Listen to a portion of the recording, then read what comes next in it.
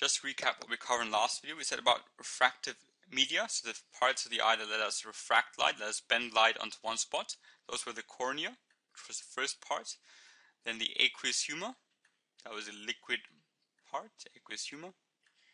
Then there was the lens and the vitreous humor. So these four parts allow us to actually bend light and focus on one spot. So what you can imagine, if light were to pass through, most of bending would happen at the cornea, right? And some more bending will happen at the aqueous humor, a bit more at the lens, and then you're to have your actual focal point, so that point where it's meant to hit will be hit at the end. So every single step along the way, there would have been a bit of bending, right? So cornea, you can see there's a bit of bend happening there between these two media. Then aqueous humor, bit more bending happening there. Then a bit more the lens, and a bit more at the vitreous humor. All of these four parts make sure that light is directed onto that one spot. So that's basically just a recap of the last video. But in this video, we're going to talk about something called accommodation.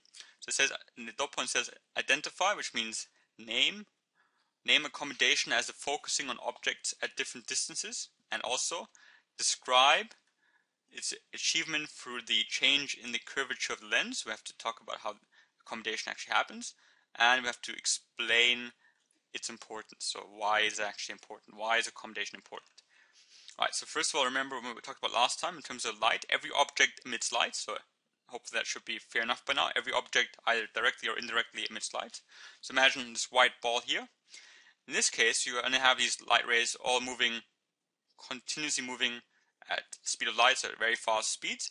But the ones that we care about are the ones which are going to hit our eye. So in this case, it's only going to be you know, these couple of these ones here and they're going to be moving straight the whole time, right? So I'm just going to I'm just going to draw them having hit our eyes. So they're going to come more or less parallel. Right? They're going to come all come quite straight towards our eye.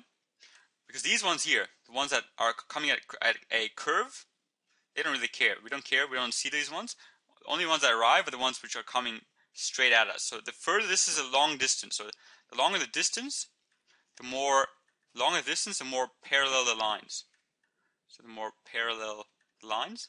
Whereas if you have a short distance, so if the ball is not far away but close away, what's going to happen is you can actually have light rays coming, some coming from from top of the object, some from here, some from there. So you can see it's not all it's not all parallel.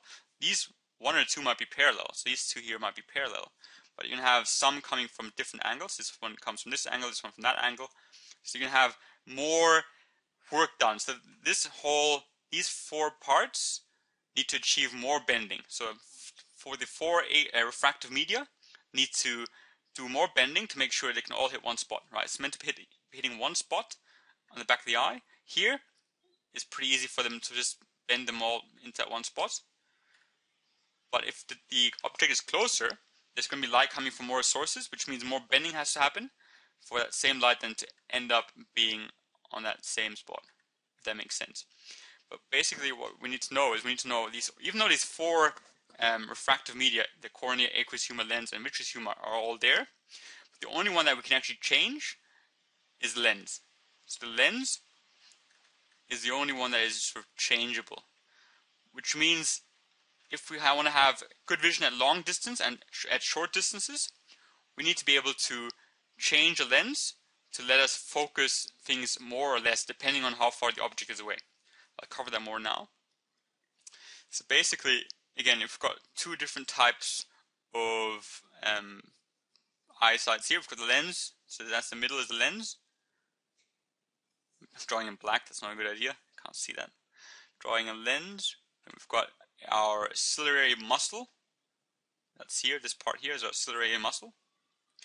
And this is just the iris, but that doesn't really matter for this case. But what you can see here, this you can imagine, these are all parallel. These lines are parallel. So remember, parallel lines come from distant objects, so objects which are far away. All the light rays end up being parallel. Whereas this, these are all coming from different types of sides. So this would be sort of mixed light rays, not all parallel. This would usually be from a close object, so objects which are close by. Now we want to focus on that one point, and we said that if they're all parallel, that's not too much of a problem. So this one will come, it will get slightly bent. This one will come, and it's more or less okay. Like it's not a massive problem.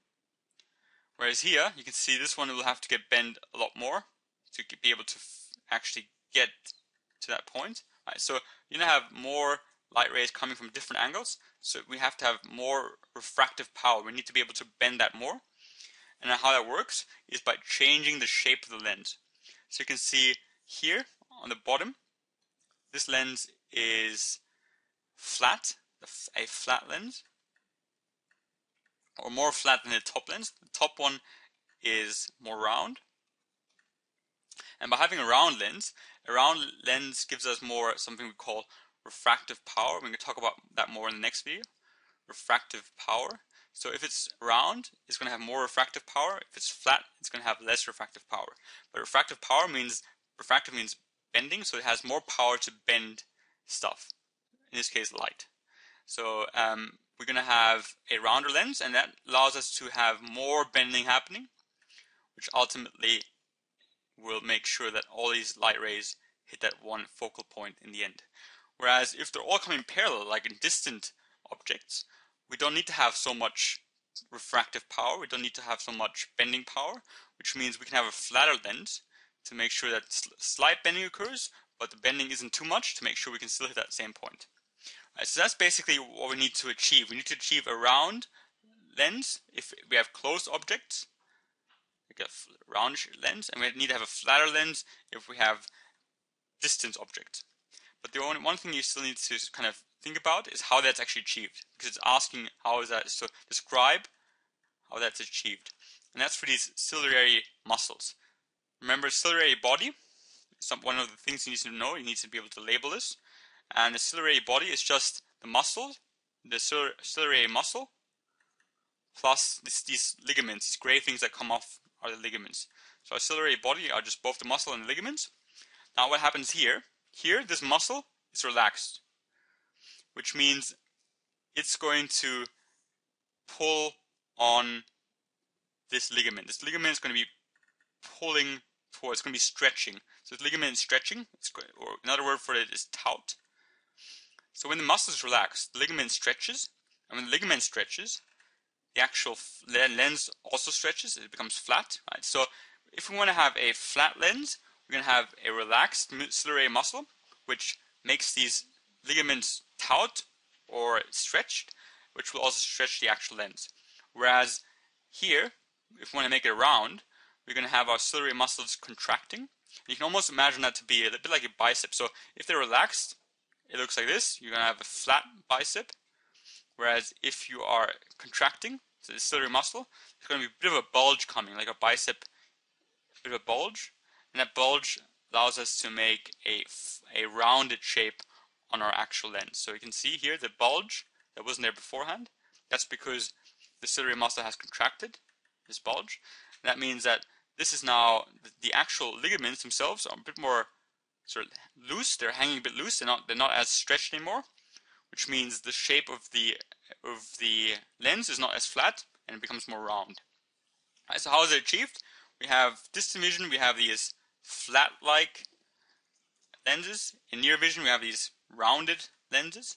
And the way we've achieved that is through uh, either having relaxed ciliary muscles, which will stretch ligaments and give us a flat shape for our actual lens, or we're going to have contracted ciliary muscles, which will mean these ligaments are a bit more loose, which will give us a, a rounder shape for our lens. And yeah, both of these are important to make sure we can have distant and near vision, and we can still focus on the same point. Bending is different depending on if it's far away or, or close by. That was the second part. And last part quickly is um, talk about the importance. So explain the importance of this. And this comes um, in terms of visual acuity. Visual acuity is just how good our vision is. So how good our vision is. So acuity, and you should probably know that term, just means good vision, right? So if you have good visual acuity, you've got good vision. And now if, for example, we have a lens which can't change its shape, so a inflexible lens, you often get that when you get a bit older. So when you age, you, your lens becomes more inflexible. what will often happen is you will have a blurry image. So this will be your eyesight, not as extreme in most cases, but it might become a bit more blurry, especially when you're looking at things which are close by, which are really close by, it might become a bit more blurry. And the reason why is because that lens is not working properly. Because remember, this is usually, we want to make sure that the light comes in, it gets refracted, and then it focuses on one point. And then we have proper vision. That's that's here. This would be ideal. But this is what happens if the lens doesn't change shape. So let's say this is a, a near object. So a near object is, is, and then what's meant to be happening is this lens is meant to become fatter in shape. So that means that the light would usually be able to all still hit the, the back of the eye. But in this case, it's not actually happening. It's not becoming uh, focused. So what that means is it's actually focusing on, on a different focal point, a focal point which is in front of the retina. But what that means is that the light still passes, the light still continues. Light will meet here. This is where it meets, but then the light will still continue. And we're going to find, you're going to find all of these different photoreceptors act, being activated. So not just one point at the back, but many points. And these many points is what gives us the blurring image, right? So when it comes to, if you have proper vision, it'll all hit one spot, which means we have good vision, good visual acuity. Whereas if you have a problem with the lens being able to change its shape, we for example have myopia, which we'll talk about more in the future, which is nearsightedness. But what that means is that the actual all the light rays are meeting at a different point, in this case too far in front. And that means that it once light actually gets towards the end, it's going to spread over, spread over a whole area as opposed to one spot. And that gives us blurry vision. So explain the importance. We need to have it to be able to make sure we can have good visual acuity because without it we wouldn't be able to adjust our lens properly. That means we get blurry vision and, and bad vision overall. So I'll quickly go over the one again. Identify accommodation as focusing on objects at different distances. So accommodation was just the lens being able to change the shape depending if it's far or close by, right? So far becomes flat, close by becomes round. That's accommodation. That's what accommodation is. Um, then you need to describe as achievement. And that was done for these ciliary muscles, right? So when they're relaxed, they become more flat in shape because it will mean that these ligaments are stretched. Whereas if it's um, round, that means that the ciliary muscles have contracted and these ligaments are a bit more loose, which gives the, lens a bit more of a round shape. So you need to know how that works more or less. And then the last was the importance. Remember, the importance was just if we don't have these mechanisms, if we don't have accommodation, then we can't focus light that's close by onto the back of the eye. And that means you have got blurry vision. You don't have good visual acuity, you've got blurry vision because that means light will spread over a, a large distance once it gets to the back of the eye, and that gives you that, that blurry vision. I hope that was useful.